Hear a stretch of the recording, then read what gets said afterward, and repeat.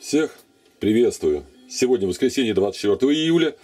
Я вам представляю к обзору удачные и неудачные моменты своей работы. А, неудачных моментов на этот раз большинство, но, как говорится, и на старуху бывает проруха. Бывает.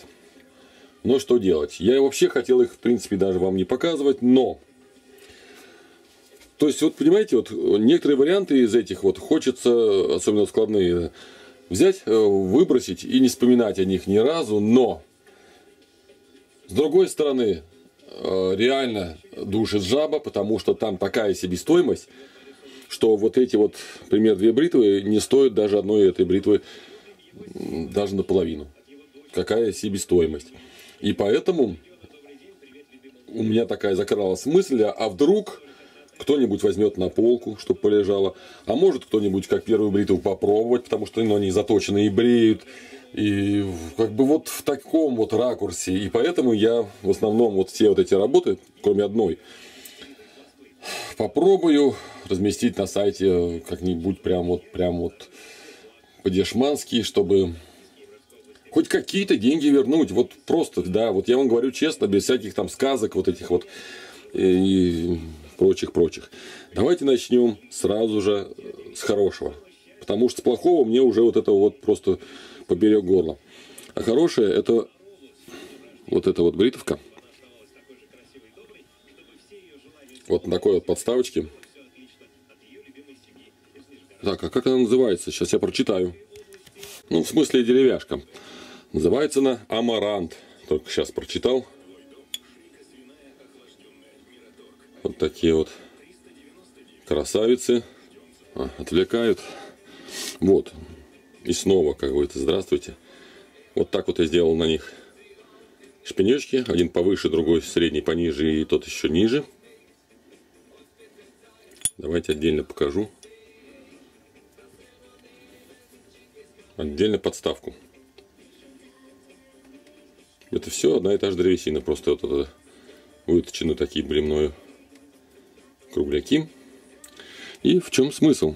Во-первых, простота, аскетичность, так сказать. Вот так вот заводить ее вот, вот так вот. Оп, и она все встала. То есть вот сюда она не упадет никогда. Но она может упасть вот сюда. Ну, сейчас вот сдвину. Она подклинивает, понимаете? То есть вот. Она подклинивает. То есть она не выпрыгивает никуда, не скатывается. Это для хранения удобства вперед подали, ничего не зацепили острием, а это важно, и она у вас в руках. Вот такая вот комиссори. Она, как вам объяснить, ну, полностью получилась. Все хорошо, то есть придраться здесь не к чему. Сейчас покажу. Все-все как выглядит. Потому что на фото вы это не увидите особо. Да, вот здесь вот рисунок вылазит немного на кромку, но не на саму прямую кромку, а только на край ее, на верхней. Поэтому это норма. Да, сразу же не сказал, это стопроцентный клин, все бритвы. Стопроцентный клин. Мне вот кто-то сказал, вот сделай свою какую-то бритву.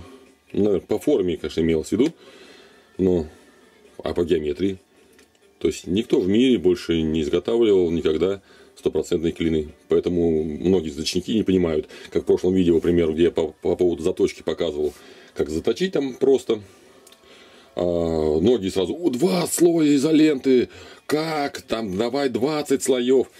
Вы поймите, здесь нет вогнутости. Если вы не положите два слоя изоленты, то вы будете шваркать прям всей плоскостью, вот этой вот всей. Вы сможете ее заточить? Нет, конечно же. Оправить потом. Я же там же на видео сказал, но почему-то никто видео не смотрит, сразу услыхали первое слово. Ай, побежали писать. Прямо, ну, такие вот писуны, так сказать. Ну, внимательно посмотрите, если вам это интересно. Если не интересно, ну, проходите мимо. Там сказано, что с двумя слоями изоленты стопроцентный клин затачивается, оправится. Хотите с изолентой, хотите без нее, без разницы, ремень свое сделает. Ремень своим прогибом в любом случае попадает на кромку. Ну, клин любит такую несильную натяжку ремня. Вот и все. Очень-очень максимально удобная в руке. Как затачивать, так и править. Ну, это просто подарок судьбы, так сказать. Не знаю, я доволен вот этой вот геометрией. Я ее сам нарисовал. Да, она похожа на японскую. Да, типа могут сказать, что скопировал. Может, какими-то, да, общими чертами, да, может быть. Но она совершенно другая. Она больше размерами, чем японская. Она стопроцентный клин, это не Япония. Она дамасская, из, из э, дамаска для бритв, то есть из бритвенного. Она цветная, это специально так задумано все. Ну, много-много чего здесь. И ну и спуски, как бы объяснить, там мало того, что не японские, но они еще стопроцентные. Ну, как бы вот так вот. И подставочки мне очень и очень понравились. Хоп, все, сидит плотненько никуда. Вот этот вариант, который единственный меня хоть порадовал. Ну, давайте продолжим с остальными вариантами. Подставушка.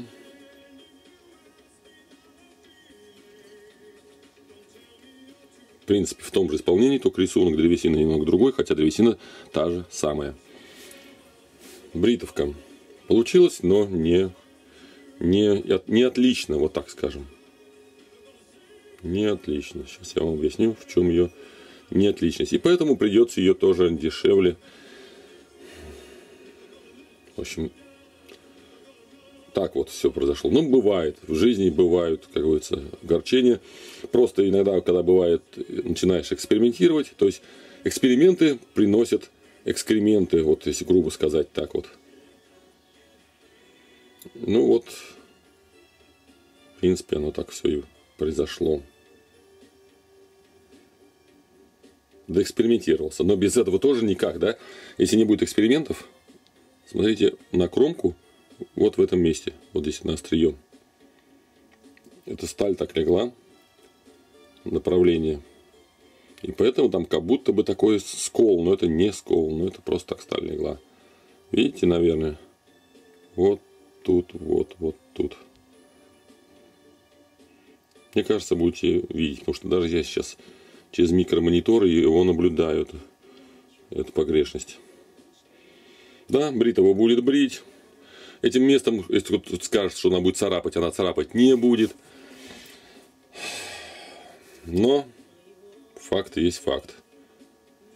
Также, кстати, максимально удобная хоть вправки, прям вот она просто летает вот так вот. Ну, это чудо, хоть в заточке, хоть в чем. Ну и заточка, острие, потому что я ее перетачивал максимально, все ждал, когда вот это вот ямочка вот эта на острие когда-нибудь сточится, но когда присмотрелся хорошенько, что эта сталь так легла, что она долго еще не сточится. Она сточится, но надо еще точить, точить и точить. И поэтому за счет этого я увеличил, у меня увеличилась вот эта кромка острия. Вот так вот также вкладываете. Хоп. Все. Она там сидит уже плотняком. Это два. Дальше совсем все хуже и хуже. Это также стопроцентные клины. Но ошибка первая моя. Какая? то, что я ширину сделал большой. Она, кстати, очень туго закрывается. Вот этим местом она закрывается вот здесь туго. Слишком широкое полотно. Для стопроцентного клина это неприемлемо. Видите, какая заточка? Ее просто вот можно точить вечно, так сказать. Вот такой объем стали. Это сталь не какая-то там шведская, там, которая источится у вас просто вот на раз-два. Это придется с ней посидеть. Она, видите, там где-то вот ловит зеркало, где-то не ловит, так и так. Ну, в общем, можете поставить ее на полку. И пускай стоит, красуется. Как-то так вот.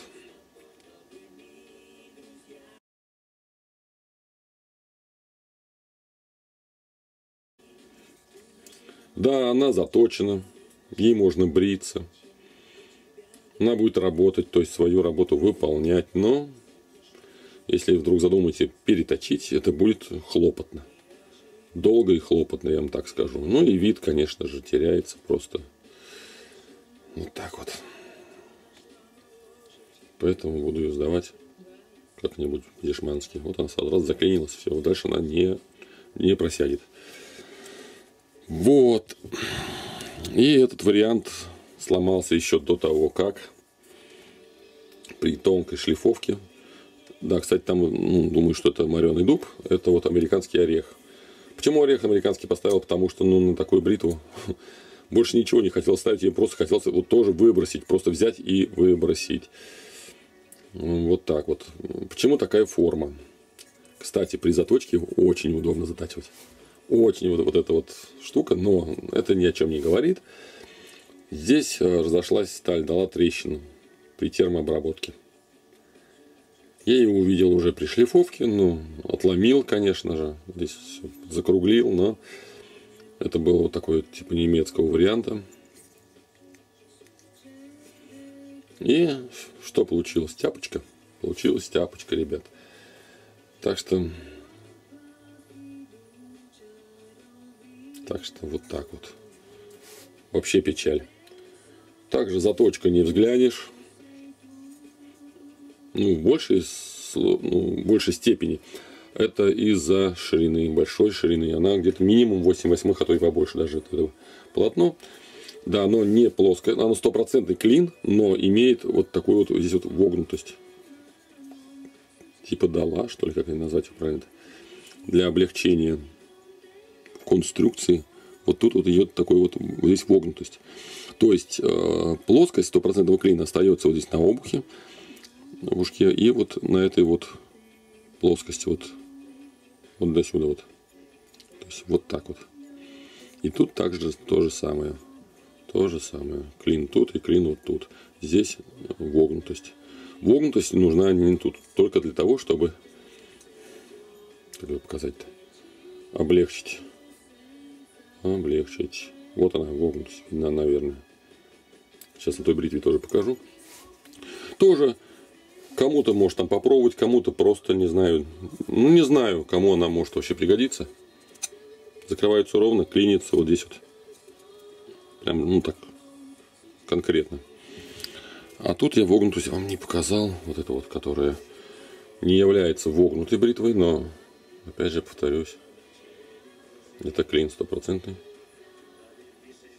В общем, вот так вот.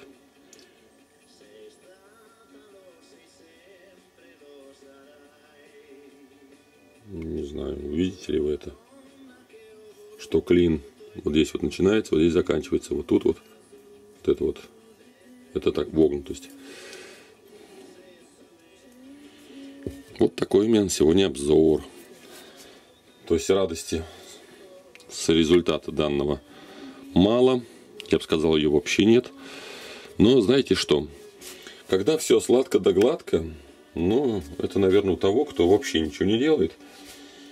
Либо там каким-то знахарем является диванным, либо еще кем-либо потому что мне много пример высказываний выкатилось, к примеру, там, вот в прошлом видео. Одни умники, просто, понимаете, вот вокруг одни умники. Заходишь к ним на канал, а там пусто. Они ничего не сделали. Вообще. Но просто знахарь, реально. И поэтому не по барабану на все вот это вот дело. Пускай кто хочет, тот то и говорит. Но Ничего, в следующий раз все получится. Как говорится, наше дело правое, победа будет за нами. На этом, думаю, надо заканчивать обзор и показать немного, наверное, как они все-таки рубят волос. Итак, первый выступает этот обломыш. Она, кстати, очень хорошо сначала распускает, прямо реально надвое, на две части волоса, потом рубит. Ну, сейчас я просто провожу быстрее, поэтому она просто рубит. А если вот медленно вести, то она будет раздваивать надвое, а потом начнет рубить. Вот, раздвоила, отрубила. Это вот этот вот вариант. Так, второй уступает вот такая вот Угу. О, надвое распущен волос. Второе движение его откидывает.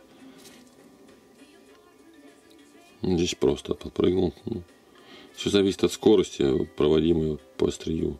Вот если медленно веду, вот она начала ровно вдоль волос раскраивать, потом... Блин, какие-то... Не поймаешь. Ну, это вот больше рубит все-таки, чем раздваивает. Вот, разводить хотела. Ну, в общем, так, следующие, которые вот с настрием, которые, в общем, не получилось. Вот, ровно надвое. Вдоль. Распустила. Опять. Надрезала вдоль. Волос крутится в руке. Так, я в камеру попадаю. Ну, здесь вот просто подпрыгнул. Может, потому что он уже был подрезан. Видите, он подпрыгивает отлетает.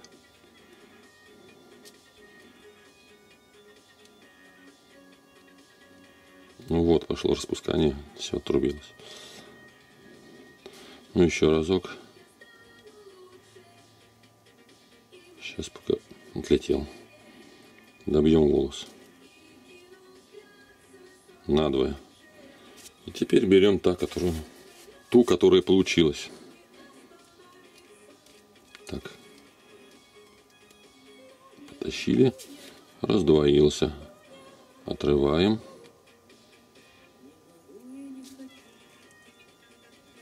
Отвалился. Подлиннее волос надо брать. Это непонятно, наверное, на видео. Не видно, наверное. Вот берем сантиметров 5 вот сантиметров 6. Ну, в смысле от пальцев длина волоса. Вот так вот.